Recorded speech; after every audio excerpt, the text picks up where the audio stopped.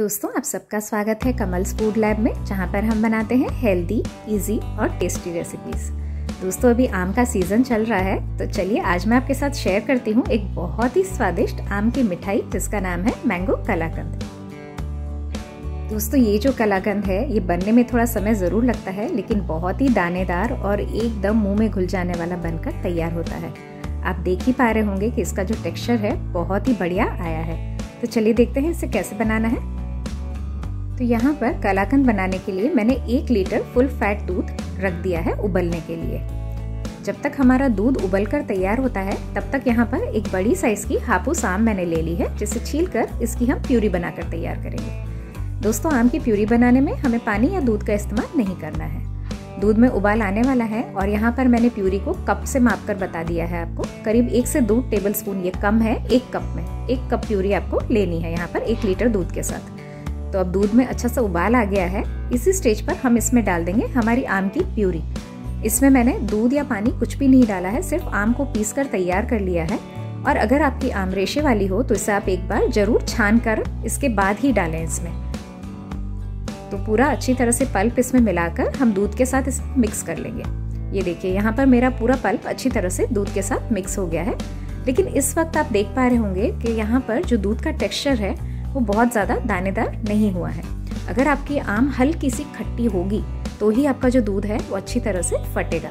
वरना कई बार आम से दूध पूरी तरह से फट नहीं पाता है। तो आप देख सकते हैं, एकदम हल्के हल्के दाने पड़ रहे हैं। तो यहाँ पर और थोड़ा सा दानेदार बनाने के लिए मैं एक चौथाई टीस्पून विनेगर ऐड कर रही हूँ। अगर आपके पास विनेगर या सिरका ना हो तो आप एक चौथाई टीस्पून नींबू का रस ऐड कर सकते हैं। और अगर आम से ही आपके जो दाने हैं वो अच्छे मोटे मोटे पड़ने लग गए हों तो फिर आपको कुछ भी ऐड करने की ज़रूरत नहीं है।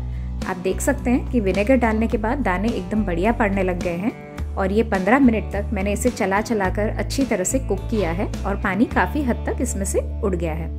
पाँच मिनट और हो गई है, इसे मैं कंटिन्यूस चलाते जा रही हूँ, वरना ये नीचे बैठ सकता है। आप देख सकते हैं, अभी जो टेक्सचर है इसका, इसी स्टेज पर हम इसमें डालेंगे शक्कर। तो एक चौथाई कप मैंने यहाँ पर शक्कर डाल दी है और साथ में मैं डाल रही हूँ आधा कप मिल्क पाउडर, जिससे कि हमारा जो कलाकंद है उसको बाइंडिंग भी बहुत अच्छी मिलेगी और इसका टेक्सचर भी बहुत ही बढ़िया आएगा। दोस्तों मिल्क पाउडर डालना ऑप्शनल है, अगर आप चाहें तो इसे स्किप भी कर सकते हैं। और शक्कर डालने के बाद हमारा जो कलाकंद है, ये बहुत ज़्यादा उड़ने लगता है तो हम इस पर एक ढक्कन लगा देंगे और इसे चलाते रहेंगे कंटिन्यूस और अब आप देख सकते हैं कि लगभग सारा पानी कलाकंद में से उड़ गया है और ये कढ़ाई को इस तरह से छोड़ने लग गया है। तो अब हमारा कलाकंद ऑलमोस्ट तैयार है। अभी थोड़ी सी नमी इसमें है, जिसे हम और सुखाएँगे। इसी स्टेज पर हम इसमें डालेंगे इलायची का पाउडर दोस्तों, अगर आप सिर्फ़ आम का फ्लेवर चाहते हैं तो इलायची पाउडर को भी यहाँ पर स्किप कर सकते हैं। मैंने यहाँ पर आधी टीस्पून इलायची पाउडर ऐड कर दिया है और पाँच मिनट में इसे और पकाऊँगी, जब तक कि और थोड़ा सा मॉइस्चर इसमें से सूख ना जाए। ये देखिए दोस्तों, एकदम इकट्ठा होने लग गया है ये कलाकंद हमारा और एकदम बढ़िया तरीके से पैन को छोड़ रहा है। आप देख सकते हैं, बिल्कुल एक लंप की तरह फॉर्म हो रहा है। और ये देखिए, इसकी कंसिस्टेंसी भी आपको दिखाती हूँ मैं। इस तरह की जब हो जाए, तब आपको गैस को बंद कर देना है। हमारा जो कलाकंद है, ये बहुत ज़्यादा सूखा सूखा भी नहीं हो जाना चाहिए और बहुत ज़्यादा गीला भी नहीं होना चाहिए। तो यहाँ पर मैंने एक मोल्ड ले लिया है, जिसमें बटर पेपर लगा दिया है, ताकि कलाकंद को निकालने में हमें आसानी हो बाद में। और इसमें ये जो गरम कलाकंद का मिक्स है, वो मैं डाल दूँगी। और इस तरह से टैप करते हुए और हिलाते हुए हमें इसे लेवल करना है। ऊपर से दबा कर लेवल नहीं करना है स्पैचुला से या किसी कटोरी से। इसका जो दानेदार टेक्सचर है, वो इंटैक्ट रहना चाहिए। इसलिए मैंने इसी तरह से टैप करते हुए इसे लेवल कर लिया है।